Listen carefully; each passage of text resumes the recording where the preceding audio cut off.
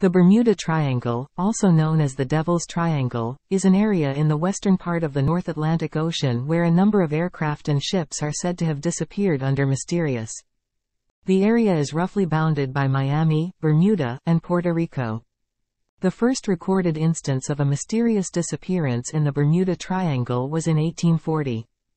When the Rosalie, a French merchant ship, was sailing from Le Havre, France, to New York City. The ship was never seen again.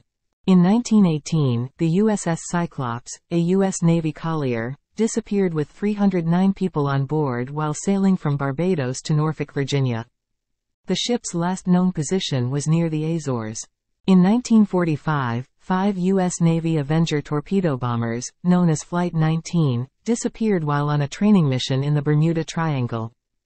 The planes were carrying 14 crew members, and no trace of them was ever found.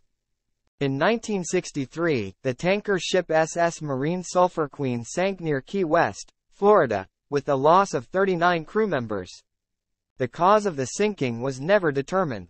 These are just a few of the many mysterious disappearances that have been attributed to the Bermuda Triangle.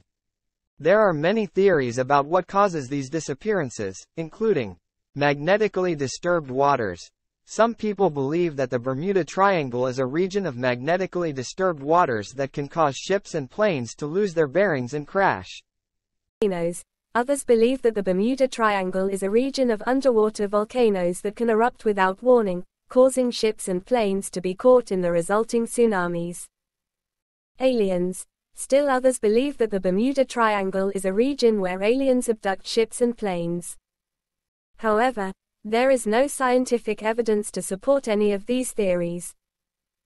The most likely explanation for the mysterious disappearances in the Bermuda Triangle is that they are due to a combination of factors, including human error, bad weather, and natural disasters.